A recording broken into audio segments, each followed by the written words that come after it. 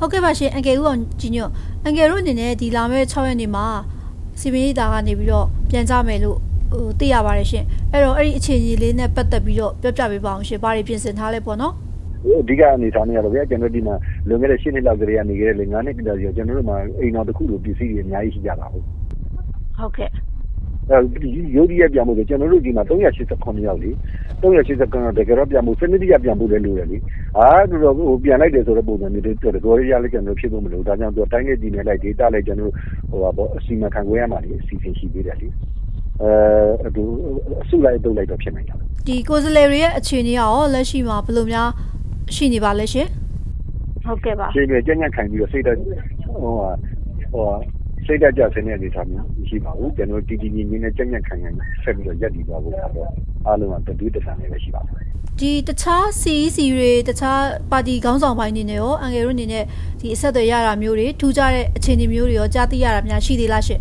ကျွန်တော်ဟိုဆက်သွယ်ထားမှပြီးအခု ကျွန်တော်တို့ CEC တဲမှာပါတယ်ချုပ်ဝင်ကြီးချုပ်တွေလုပ်နေပြီ တချို့လည်း ကျွန်တော်ဆက်သွယ်တော့ ရပြီ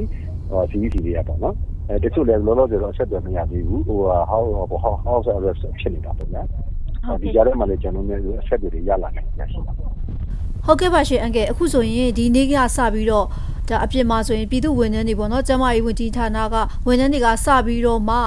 ဒီ civil disobedience campaign ဆိုတဲ့ campaign လေးကိုစပြီးတော့လှုပ်ရှားနေတာရှိပါတယ်အဲ့ဒါနဲ့ပတ်သက်ပြီးတော့အန်ကယ်တို့အနေနဲ့အန်ကယ်အနေနဲ့ဗာများပြောချင်တာများရှိသေးလဲရှင်ကောင်းတာပေါ့ဗျာကျွန်တော်တို့အတွက်ကျွန်တော်အင်မတန်မှလည်းအားဖြစ်တာပေါ့နောက်ပြီးတော့တနင်္ဂနွေရဲ့အနေအထားမျိုးနဲ့ဥပဒေဥပဒေရဲ့မူပေါင်းနဲ့အညီဥပဒေတိုင်းဖြစ်တဲ့ဟိုဟို ဥပဒေနဲ့ညီ ဒီမိုကရေစီရဲ့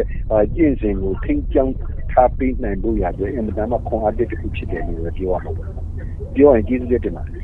ဒီနောက်ဆုံးအနေနဲ့ပေါ့နော်ဒီပြည်သူတွေကိုရော အန်ကယ်အနေနဲ့ အခုလက်ရှိအခြေအနေတွေနဲ့ ပတ်သက်ပြီးတော့ဗာများပြောချင်တာများ ရှိပါသေးလဲရှင်တကယ်တမ်းကျတော့ဟိုမှန်ကန်တဲ့လမ်းကြောင်းအပေါ်မှာ ရောက်ရှိပြီးတော့ တကယ်တော့ ဥပဒေနဲ့ဒီပေါ့နော်တရားဝင်တည်ရှိမှုနဲ့ legitimacy ကို ထိမ့်သိမ်းဆောက်ရှောက်တဲ့နေရာမှာ ကျွန်တော်တို့ NLD ရဲ့ပြည်သက်ရက်တည်ခဲ့တဲ့အတိုင်း အမေစုက ပြောထားတဲ့အတိုင်းပဲ ပြည်သူဒါအဓိက ဒါပဲပြောချင်ပါဟုတ်ကဲ့ပါ ကျေးဇူးတင်ပါတယ်ရှင်အန်ကယ်